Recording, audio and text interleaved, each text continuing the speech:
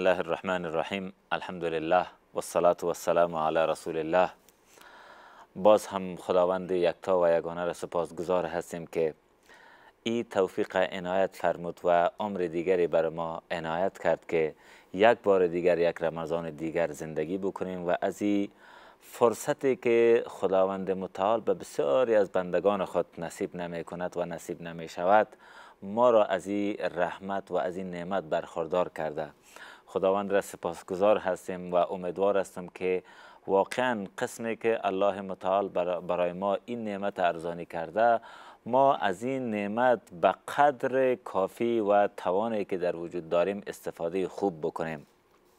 و همین دعا را به همه ملت مسلمان در سر, سر تا سر جهان می‌کنم. ماه اول ماه مبارک رمضان است. حلول ماه مبارک رمضان به کافه امت مسلمان در سر تا سر دنیا تبریک و تهنیت عرض می کنم امیدوار هستم که در این ماه قسمی که گفتم از این نعمت برخوردار شویم و و در دعاهای خود همیشه یک دیگر فراموش نکنیم. ماه مبارک رمضان چنانه که از نامش هویداس از رمزا گرفته شده که رمزا به معنای حرارت بسیار زیاد گفته می شود به این معنا که این حرارت می سوزاند بنان به رمضان رمضان به خاطر ازی گفته شده که گناهان در این ماه مبارک رمضان سوختانده می شود توسط امو عبادات و طاعاتی که ما انجام می دهیم دیگه فضیلت ها و چیزایی که مربوط به ماه مبارک رمضان می‌شد. انشالله در طول رمضان ما یک یک پیام هایی داریم. هر روز یک پیام بسیار زیبا برای شما داریم. امیدوار هستیم که تا اخیر برنامه ما را بیننده باشید و از داشته های برنامه ما استفاده اعظمی داشته باشید. ماه مهمانی خداوند است. در این ماه مبارک رمضان همون قسمی که حدیث شریف روایت شده که در این ماه اجر و پاداش کسی که روزه می‌گیرد را من خودم نصیبش می‌کنم. ما امروز در اولین برنامه این ماه مبارک جناب استاد مفتی عبدالله عبدالله را با خود داریم. جناب مفتی صاحب به برنامه خوش آمدید. بسیار تشکر جناب مرادی صاحب لطف کردی ممنون شما. ما هم به نوی خود فرا رسیدن ماه مبارک رمضان به همه امت مسلمه مبارک می‌گویم. در خدمت. ممنون شما جناب مفتی صاحب. اولین سوال در ارتباط به این پیام امروزی ما چگونه از این ماه مبارک ما استقبال بکنیم؟ بسیار تشکر. بسم الله الرحمن الرحیم. استقبال ما از ماه مبارک رمضان چنانه که پیشتر شما در صحبتهایتان بسیار زیبا بیان کردید که ماه مهمونی خدا هست. من می‌خوایم از اینجا شروع بکنم که رمضان مهمان ما هست و ما مهمان پروردگار هستیم. سبحان الله استقبال و پذیرایی و تشریفات هر مهمان فرق می‌کند. به اعتبار جایگاه و منصبی که اون مهمان داره تشریفات لازمی در قبال از او در نظر گرفته می شود ما که مسلمان هستیم لازمه ایمان ما عزتداری مهمان ما هست بله. چی از مسیر راه آمدنش تا ملاقاتش تا تهیه غذا تا اگر مهمان شب ماندنی باشه بله. تهیه جای استراحت بالاخره مطلب مهمی باشد که همین مهمان به خوشی از پیش ما رخصت شود بله. این مهمان یک مهمان فوقالعاده آسمانی هست مهمانی است که به دل خودش نیامده است. این پروردگار هر دو جهان برای ما روان کرده است هدف از آمدنش همی است که ما را به طرف فلاح و رستگاری رهنمایی بکند. راه های سلامتی را راه های نجات راه های پیشرفت برای ما پیشکش بکند از همچی یک مهمان از همچی یک معلم از همچی یک رهنما لازم است که آنچنان پذیرایی صورت. بگیرد که واقعا به خوشی از پیش ما این رمضان بگذره بله. و ما این ماه را سپری بکنیم. من فکر می‌کنم که اگر عنوان به این ماه بدیم که یک پانتون انسانیت و انسانسازی بر روی ما باز شده است. بله. بجا خواد بود که اگر اعلان را بشنویم که یک پهنتون دروازهش بروی همه باز است هر شاگردی می‌تونه بدون فیس در این پهنتون شامل شوه. ولی تعلق می‌گیره به خود شاگرد. اگر درسای از این پهنتون خوبتر خواند واقعا انسانیت میآموزد. واقعا به عنوان یک الگو از این پهنتون فارغ می شود بله. واقعا راه و رسم انسانگونه زندگی کردن می آموزد اگر ما ماه رمضان یک ماه انسانیت و انسانسازی بدانیم واقعا درسای رمضان آنچه که لازم است فرا بگیریم ما استقبال خوبی از این مهمان خود کردیم. یا بیشتر مردم ما که نیازمند تداوی و شفاخانه هستند اگر این ماه را به عنوان یک مرکز صحی جناب مرادی صاحب عنوان بدیم بله. که در این مرکز صحی تداوی رایگان صورت می‌گیره بله. اگر مریضا خودشان پرهیز بکنن با پرهیز خود از چیزایی که اون شفاخانه اون دکتر من می‌کنه می‌تونن صحتمندی خود را دریافت بکنن. هر نوع مرضی که تداویش سخت باشه این مرکز می‌تونه او را تداوی بکنه. شاید هر مریض علاقمند شود که خود را بستر بکند. این ماه رمضان واقعا یک مرکز صحی است. بله. اگر ما واقعا مریضا مرضهای اخلاقی و مرضهای انسانی که در وجود ما هست اگر ما اونها را شناسایی کرده خود در این ماه بستر بکنیم از این استقبال خوب بکنیم واقعا سلامتی خدا انسانیت خدا ما می‌تونیم با استقبال این ماه پیدا بکنیم. و بهترین استقبال هم امون رهنمایی های پیامبر صلی الله علیه و سلم است که در این ماه چطور استقبال کرده است چه راهنمایی بر ما کرده است لازم است که اون ما باید دنبال بکنیم. بسیار زیاد تشکر جناب قایس واقعا رمضان یک پنتون است یک شفاخانه هست کاملا یک جایی است که برای فرا گرفتن و معنویات گرفتن روح انسان ها می‌تونه که خیلی خیلی کمک کنه و انسان ها را از این مشکلات و از این بدبختی هایی که داره به دور نگاه کنه. انشالله در ادامه می‌خوایم در ارتباط به ای که پیامبر علیه و سلام در رمضان چگونه از رمضان استقبال می‌کرد بعد از وقفه دوستای عزیز.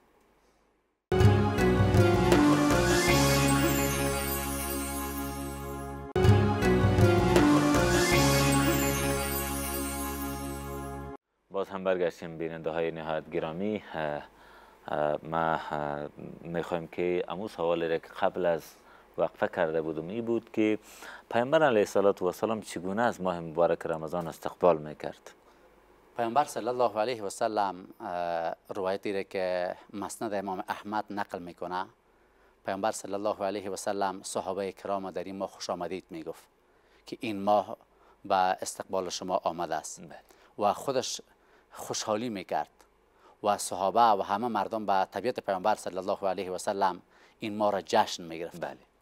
روایت دیگه میاد که پیامبر صلی الله علیه و سلم در سخنرانی های ماه شبانش همه را دستور می‌داد که ماهی که با برکت است ماهی که بزرگترین ماه است اون به استقبال شما آمده روان است.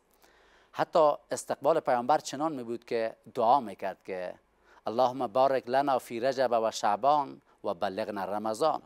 خدایا در ماه رجب و شعبان دو ماهی که قبل از رمضان است خدا دیا بر ما برکت عطا فرما و ما را به رمضان برسان. روایات دیگه که پیامبر صلی الله علیه و سلم از روزه گرفتن یکی دو روز قبل از رمضان یا بعد از 15 شعبان من می‌کند تحلیلی از جناب مرادی صاحب که تا این انسان به مهری و کم محبتی نسبت به رمضان نشان نده. امون نشاط خدا انرژی و قوت خدا به خاطر روزه گرفتن در این ماه و به خاطر استقبال خوب از این ماه داشته باشد.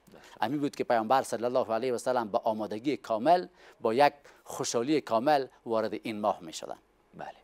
خب ماه مبارک رمضان از ما چه درخواست داره؟ کدام وظایف را از ما می خواهد که انجام بدیم؟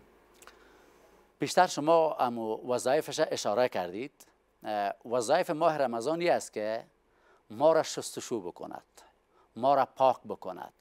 باران رحمتی است که همه آلودگی ها و کسافت هایی که در وجود ما در جامعه ما پدید آمده است بله. می‌خواد اونها را شستشو بکند.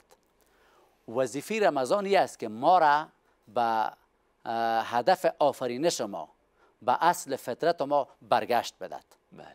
اصل فطرت و هدف آفرینش ما را قرآن برای ما بیان می‌کند که سوره زاریات اعوذ بالله من الشیطان الرجیم و ما خلقت الجن والانس الا لیعبدون. بله.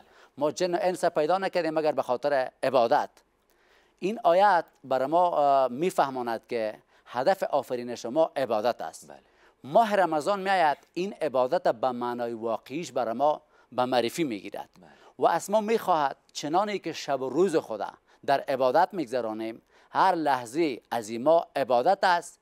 ما یک مقدار پیشرفته تر فکر بکنیم که این عبادت از معنای خاصش یا از معنای تنها روزه و تنها نمازش بیرون بکشیم به معنای عامش از این استفاده بکنیم. بله. معنای عامش چی است که هر نوع کار هر نوع وظیفه را که ما در خانواده در اجتماع به خاطر ساختار اجتماع انجام میدیم اگر هدف ما رضای الله باشه اما عمل ما به عبادت تبدیل میشه. چه مطالعه کتاب باشه چه ورزش باشه چه خدمت شوهر به خانمش از خانم به شوهر از پدر و مادر به فرزندا بله. از فرزندا به پدر و مادر باشد امی هم به عبادت تبدیل می شود چیزی که ما نیاز داریم مرادیس او ساختن جامعه است اگر ما امروز فکر زیره بکنیم که یک جامعه که برخوردار از عدالت باشد یک جامعه مرفع یک جامعه که قابل زندگی هست ما به خاطر ساختن از او سعی و تلاش بکنیم این سعی و تلاش ما هم عبادت شمرده می شود. جامعه که با همه ارزش های اسلامی ما برابر باشد همه آرمان های اسلامی ما در او دیده شود یک جامعه آزادی که در چارچوب شریعت در چوکات انسانیت او برابر باشد. اگر هر انسانی که در ای وطن زندگی می‌کنه با این فکرش وارد از این رمضان شوه و به خاطر از این رمضان به خاطر ساختن جامعه در همه بخشایی که این جامعه ما نیاز داره که باید ساخته شوه سعی تلاش می‌کنه. این عبادتی است که به حساب میآید. عبادتی را که ماه مبارک رمضان از ما خواهان است می‌خواهد که این عبادت توأم با معرفت باشه بسیار دوستا شاید عبادت خوب بکنن اما لذتی از عبادت نبرن. او عبادت خستکان برشان باشه. اگر ما دانش خود نسبت به روزه رمضان یا به عبادت رمضان بیشتر بکنیم علاقمند میشیم که این ماه چندین ماه باید اگر باشه باید به خوشی ازی استقبال بکنیم. رسول معظم صلی الله علیه و سلم روایت میاد که در پور سال در فکر این ماه می بود. بله. ماه رمضان که میگذشت شش ماه دعا می‌کرد که الله این رمضان قبول بکن. بله. پنج ماهی که بر رمضان میمان دعا می‌کرد که ای الله ما را در رمضان برسونی و ما را در رمضان صحیح و سالم داشته باشی. این دانش پیامبر صلی الله علیه و سلم است که از مزایای عبادت در این ماه دارد. یک کمی دیگه اگر پیشرفته تر عبادت فکر بکنیم که ما واقعا درس عبادتی خود از این ماه دریافت بکنیم این است که ما متخلق به اخلاق الهی خود بسازیم. امی لغت عبادت یا کلمه عبادت اگر ما در دستور زبان عربی ریشه یابی بکنیم عبادت معنیش است که ذره نافرمانی به خالق صورت نگیره. اون اللهی که رحمان است اون اللهی که رحیم است اون اللهی که رؤوف است اون اللهی که غفور است اون اللهی که کریم است بیم این همه مواصفات در خود پیدا بکنیم. چنان پیدا بکنیم مثل اسپنجی که وقتی سر آب گذاشته شود آب به خود جذب می‌کنه ما انسان ها مگر در این ماه تانستیم؟ اوصاف الهی را اخلاق الهی را در خود جذب کردیم. خب ما هستیم به هدف آفرینش خود و به خواست ای رمضان که عبادت کردن پروردگار است ما لبیک گفتیم. ما در واقع اگر می‌تونیم یازده ماه دیگه خود که کمیا و کسیا داریم جناب مرادی صاحب در این ماه اون ماه اون جبران بکنیم. جبران کردن کمیا و کاستیای ما در واقع خواست این ماه مبارک رمضان است که ما را به کمال انسانیت ما در به مدارج عالی که این ماه خواهان است ما می‌رسیم. ما خود دست کم نگیریم. خیلی موجود با استعدادی هستیم. خیلی استعداد عالی داریم. اگر واقعا بالای خود کار بکنیم که ما خود انسان جور بکنیم ما خود عبادت گذار خدا جور بکنیم ما واقعا بنده واقعی پروردگار خود بسازیم علم و آگاهی خود نسبت به عبادت بیشتر بکنیم ما می‌تونیم خود ما را جامعه ما را همه مردم ما را بسازیم. واقعا از این پهنتون رمضان یک استفاده خوب بکنیم هر کسی که ما را می‌بینه رفتار ما را با مردم رفتار ما را با خود ما ارتباط ما را با الله واقعا دریافت شناخت بکنه که شخصی است که از پانتون رمضان فارغ شده است بله. یا در پانتون رمضان درس می‌خونه. اینی زمانی است که ما واقعا به اون هدف آفرینش خود یا اصل خاص رمضان بله. که برگشت ما به عبادت پروردگار است ما برگشت می‌کنیم. نایل میشیم. بدون شک. ما امیدوار هستیم که از این فرصت از این قسمی که شما بیان کردید امو متخلق به اخلاق حسنه و اخلاق اسلامی بسازیم. خدا و بتانیم کار کرده. یقینا ماه مبارک رمضان ماه بهار قرآن هم گفته می شود. تا هر قدر توان و امکانات از این را داشته باشیم که هم قرآن تلاوت بکنیم و هم در کوشش ازی باشیم که معنا و مفهوم و پیامی که قرآن از او برای ما میرسانه او را هم درک بکنیم. بعد از یک وقفه کوتاه دوباره برمیگردیم و انشالله بخش اخیر ما باقی است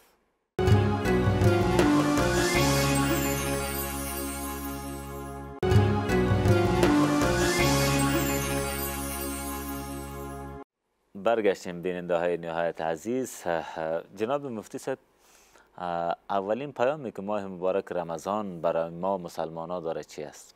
تغییر و تحول مثبتی است که ما باید در این ماه ایره در وجود خود در کارکردهای خود باید بیاریم. اون تغییر از فساد به طرف اصلاح است. بله. هر انسان متوجه شود چه کارهای خرابی قبل از رمضان می‌کرد در این ماه بیاید از اون خرابی ها صرف نظر بکند. حدیثی را امام ترمیزی امام نسوی ابن ماجه نقل می‌کنند که پیامبر صلی الله علیه و سلم میفرماید شب اول رمضان و در هر شب از شبهای رمضان یک فرمان الهی صادر می شود و یک صدا کننده صدا می زند که یا طالب الخیری اقبل. اقبل. یا طالب الشری امسک. یا روایت دیگه می از رودی که یا باقی الخیری اقبل یا باقی الشری امسک.